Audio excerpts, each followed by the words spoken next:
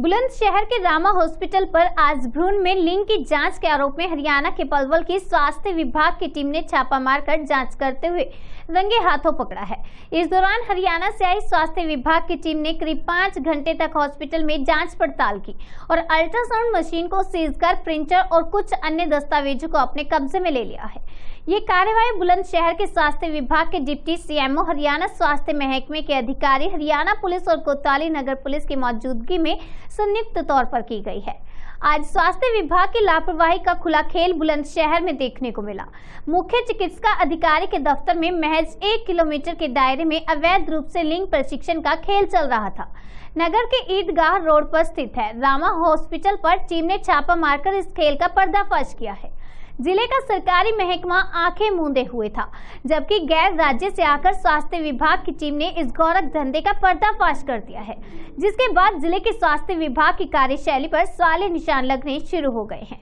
दरअसल मामला बुलंद शहर नगर के रामा अस्पताल का है, जहाँ खुलेआम भ्रूण में लिंग की जाँच का खेल पैसे लेकर चल रहा था। चौंकाने वाली बात तो यह है कि ये सब महज जिला अस्पताल से 500 मीटर जबकि ज़िले के स्वास्थ्य महकमे के सर्वे सर्वा मुख्य चिकित्सा अधिकारी के दफ्तर से महज एक किलोमीटर दायरे के भीतर हो रहा था। हैरानी की बात है, जहाँ ज़िले के महकमे के कर्णधार अफसर अनजान थे, वहीं गैर राज्य से आकर इस नापाक खेल को पकड़ा है। हरियाणा के स्वास्थ्य महकमे की टीम और पुलिस ने टीम ने पलवल ज़िले से आकर हॉस्पिटल पर छापा मारा और हॉस्पिटल को अवैध काम में लिप्त पाया गया है। पलवल से टीम में आए डॉक्टर का कहना है कि लिंक जाँच की सूचना पर यह छापामारी की कार्रवाई की गई है। अफसरों ने बताया कि लंबे समय से उन्हें वहाँ जानकारी मिल रही थी कि बुलंदशहर के रामा हॉस्पिटल में खुले आम ये धंधा फल फूल रहा है। और शिकायत के आधार पर टीम यहाँ आई तो उस वक्त भी ये कृत्य किया जा रहा था। टीम ने सभी को मौके से लिंक की जाँच करते हुए पकड़ा। फ़िलहाल अब महकमा इस मामले में हॉस्पिटल के विरुद्ध कोतवाली में उचित धाराओं में मुकदमा पंजीकृत करा रहा है।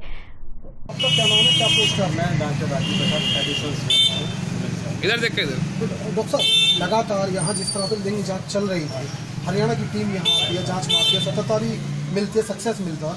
बुलंदशहर स्वास्थ्य विभाग को नहीं जानकारी थी इसकी। डॉक्टर साहब इधर देख। क्या है कि मैं कुछ समय पहले ही मैं यहाँ पे इस पोस्ट पे आया हूँ। किसी पी एन काम देख रहा हूँ दो महीने से। तो वैसे सुधारात्मक कार्रवाई पे तो लगातार कर रहे हैं लेकिन ये जो मरीज़ था ये वहीं का पलवल का ही मरीज़ था जो यहाँ जाँच करा था डॉक्टर साहब आपके एरिया में बुलंदशहर में जाँच लगातार चल रही थी हो सकता है और भी लोग ऐसे हों जो लगातार इस तरह के लिंग जाँच के यहाँ कार्य कर रहे हो। फेलवर नहीं मानते हो कि हरियाणा की टीम आकर के यहाँ पता लगा पाती है? तो फेलियर तो है लेकिन इसकी जानकारी हमें नहीं लग पाई बड़ा अफसोस की बात है। लेकिन आगे और अच्छी तरह कार्रवाई करेंगे जो जो जो भी अगर कहीं गलत करता हो पकड़ा गया तो अच्छा बुलंदशहर में ऐसे काफ़ी सेंटर चल रहे हैं। क्या वहाँ पर भी आप छापामारी करेंगे? इस तरह से आप फेलियर हो यहाँ पर बुलंदशहर में? नहीं तो करेंगे कार्रवाई कार्रवाई करेंगे। अभी जो यहाँ पे जो अनियमितताएँ मिली है वो क्या थी?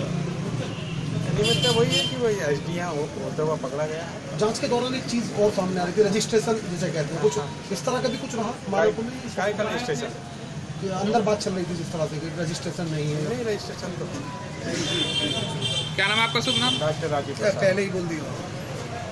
सर सबसे पहले आप अपना नाम बता दीजिए क्या आपकी पोस्ट है और किस तरह की सूचना मिल रही थी रामा हॉस्पिटल में जिस पर यहाँ कार्रवाई की गई है किस तरह की कार्रवाई की गई है? मैं डॉक्टर संजय हूँ पीएनडीटी नोडल ऑफिसर और हमें लगातार आपके बुलंदशहर के शहर से सूचनाएँ मिल रही थी कि वहाँ पर एच करा जाता है। डॉक्टर साहब ने जो है लड़के लड़की को बताया जाए लिंग जाँच। लिंग जाँच करी जाती है। उसके चलते हम पिछले पंद्रह बीस दिन से इस कार्रवाई में लगे हुए थे। हमारे पलवल से कोई ऑफ़ एक और फीमेल करा के गई थी जिसके माध्यम से हमने जो है उनको इनसे कांटेक्ट किया हमारी हॉस्पिटल की स्टाफ ने। और आकर के हमने फिर सिविल सर्जन से टीम बनवाई जिस हिसाब से परमिशन लेके ड्यूटी मजिस्ट्रेट साथ में लेकर के छापे हमारी क्या कुछ यहाँ पाया गया है? और किस तरह का जो डॉक्यूमेंट्री का जो होता है पूरा मानक जिन्हें कहते हैं उनमें क्या क्या कमियाँ खामियाँ रही? और जो सूचना आपको मिल रही थी उसमें क्या सत्यता है? जो हमें सूचना मिल रही थी वो पूरी तरह से आई। वो हमारी रेड सक्सेस हुई है।